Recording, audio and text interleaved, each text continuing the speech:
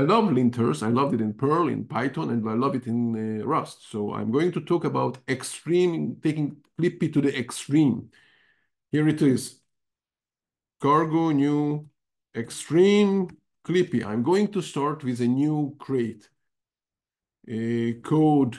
I'm going to get into the editor, VS Code, and here uh, we have uh, the main RS, which is just uh, empty, nothing in there. Okay, so what can I do here? I can, of course, cargo run, nothing new, and I can run cargo clippy that will run the default lints uh, that come with uh, cargo clippy, with clippy, clippy. So here it is.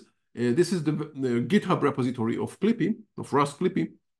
And you can see that it has a number of, uh, it says that there are over 700 lints uh, and there are various categories. And by default, some of them are on, some of them I uh, turned on as saying deny, meaning or warn. So it will either uh, fail or uh, at least warn if uh, we don't write or code according to the to the lint.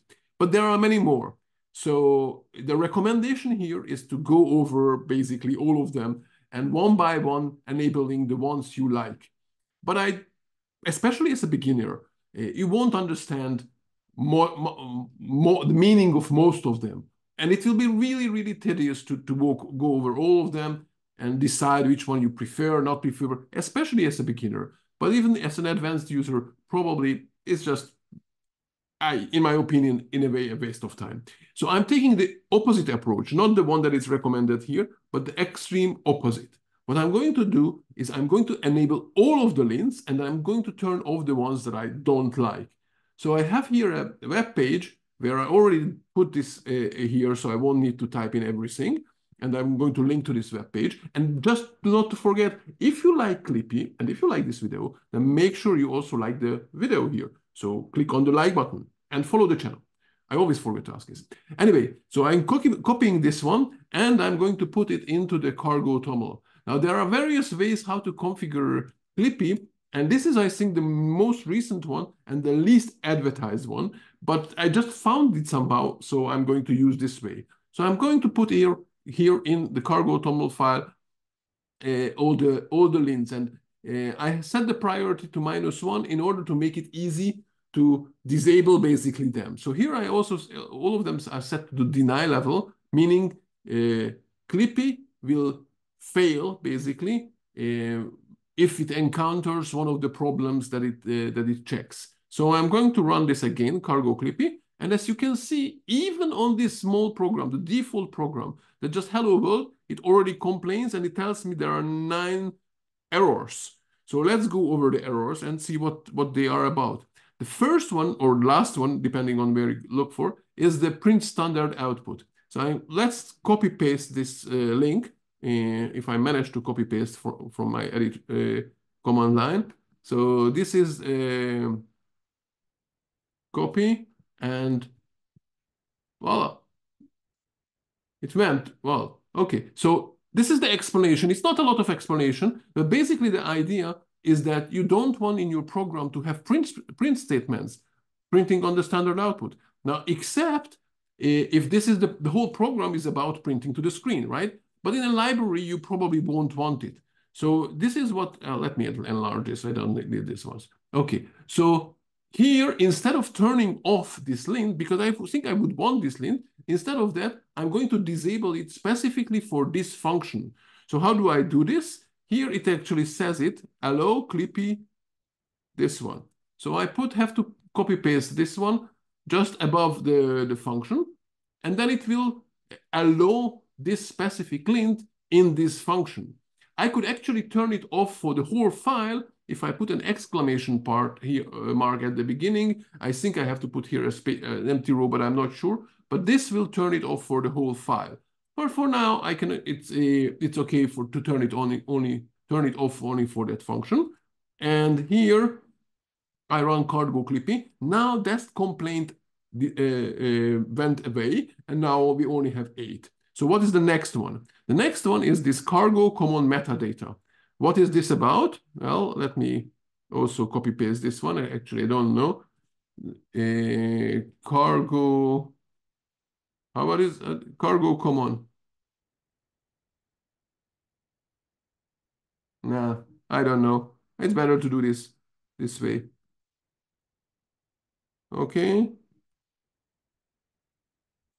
Here you are. Okay. So this is about the fact that in the, okay, you can read it, but this is about the fact that in Cargo TOML, there are meta info, there can be meta data. And by default, there are three fields. But if you want to upload something to Cargo, to crates.io, sorry, then you have to fill uh, out a lot more fields. Uh, and this, uh, this basically, uh, lint basically complains about that. Now, if you are not interested in, in uh, uploading, then you can turn it off. And this is what I'm going to do. I don't need the whole URL, just the name of this lint. Okay, and then I set it to allow. I don't even want, I don't, don't want uh, Clippy even to warn about, warn me about it. Okay, so I run cargo Clippy. Now we are down to two, and uh, one of them is uh, missing docs in private items. Okay, so another one that I don't, I'm, I'm not interested in. Okay, let's copy paste this one. I don't even check what's this now. Hello, you can go ahead and check it. And so I don't, I don't want to write uh, documentation, I guess it's missing documentation in private items. Okay, not really interesting. Not for now. Um, and then the last one is the blanket Clippy restriction lints. So this is actually complaining about the fact that I'm uh, included all these lints uh, blanketly, enabled everything. So I obviously want this. So I'm going to allow this lint. Okay. Hello. Uh, and I can even comment here. Uh, and I put extreme clippy. So uh, I can say I can say I like I like extreme clippy. Okay, so this is going to be committed, of course, into the version control. And now it meaning that the other developers will see that I really, really mean it. Okay, fine. So now I enabled everything and disabled the ones that I really didn't, we don't, uh, didn't want. And now I can go on writing code. And here comes the interesting part. Clippy will help me improve my code a lot. It will teach me all kind of things, how to write code better. And that's why I mm, use it uh, partially. Of course, I want to make sure my code is good, but especially as a beginner, I love it uh, when it teaches me and, and shows me new things. And not every not every explanation on the website is very detailed, and uh, hopefully they will get better and better with time. But uh, already they are quite good, uh, most of them. Uh, so let's write a little bit code here. The first thing I would do is write a function. Uh, a really simple function, I just call it echo. It will get a string and it will return it as a string. Uh, so I, I'm going to uh, accept a string and as, as an SDR uh, and then return a string. I know, I know, this is not very special, nothing interesting in here. Uh, I just wanted to show you how Clippy behaves with this. Now this one is still red because of course I have to return something. So I type in return and I take the text uh, to owned and semicolon. Return, return, okay? I have to type it correctly and that will be better. Okay, so the compiler is now happy except the fact that the echo is not in use, so it's, it's, it's yellow. And what does Clippy say? So Clippy complains about needless return, and I can copy this, copy paste this one and see what does that mean, okay? So let's look at this one. What it says is that I have this return something, semicolon, and it recommends that I just have the last uh, statement converted into an expression by removing the return and removing the semicolon at the end. And this is sort of the recommended way in, in Rust. So let's go with that. Okay. So now I go and remove the semicolon. So I already learned something, right? uh, that it's a better way to write this way. This is how uh, Rust recommends it.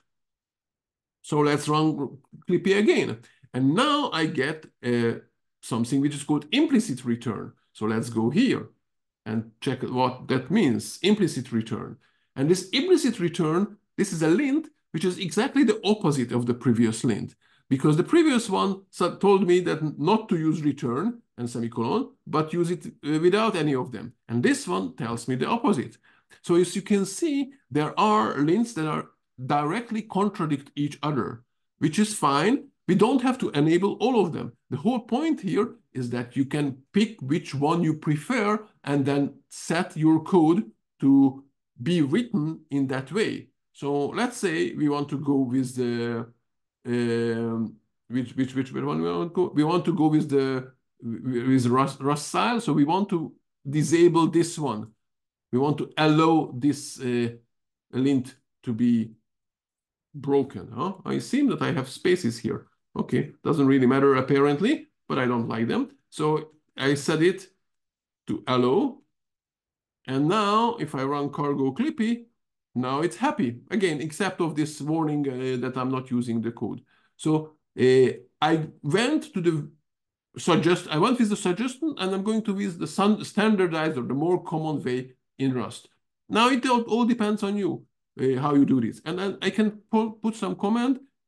This is the more common way in Rust.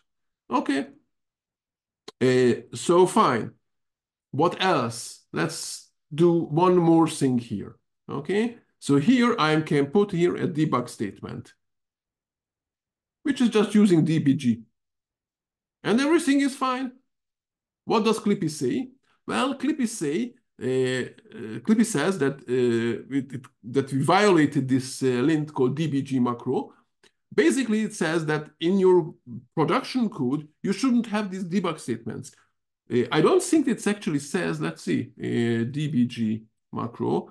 Uh, I think it doesn't say anything about logging. So I would put here in this explanation some suggestion uh, to use some logging system because probably that's what you want instead of having these debug statements, something to log on a debug level. But you don't want this to uh, be uh, enabled. Now, oh, you can decide here which one you like, because um, in reality, using debug exclamation mark uh, while you're developing is a good idea. So you don't want this Clint to complain all the time. Uh, you just want to make sure that this never enters your code base. And you can do it in two basically uh, ways. And what my suggestion would be this. So we can disable this uh, lint, which is called debug macro, right? dbg macro. And we set it to allow. So this way, let's, let's see it. This way, as you're developing, you can use this. But you want to make sure that when you push it out to Git, the continuous integration system will stop it, at least that. Okay, so how can you do this? In the CI system, you will probably run cargo clippy as well, but you can also set on the command line this deny, and then you say clippy and dbg macro.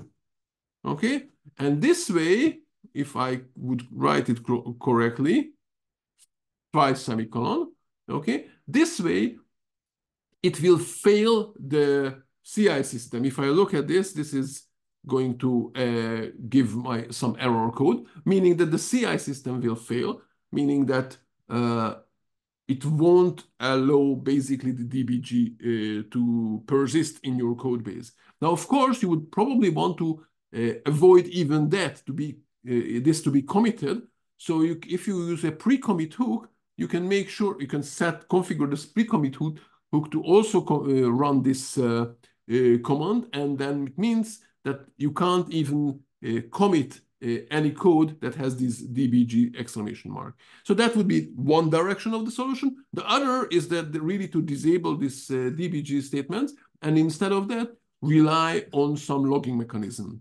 But that's for another story. So I hope this little bit, uh, little bit gives you some kind of a direction of how I uh, prefer to use uh, uh, Clippy. I'm going to have a couple of other videos showing how you can configure it in the CI system and how uh, what can you do if you already have a project because if you already have a project that's not just starting out and you turn on clippy we would get millions of warnings or errors and um, that's not really uh, make will make you happy. Anyway, in order to, well, please do like this video if you like the video and follow the channel to make sure that you get notified when when I upload a new video. And then this there is this um, bell, just turn it on to make sure that you get really the notification. So thank you for watching and uh, see you next time.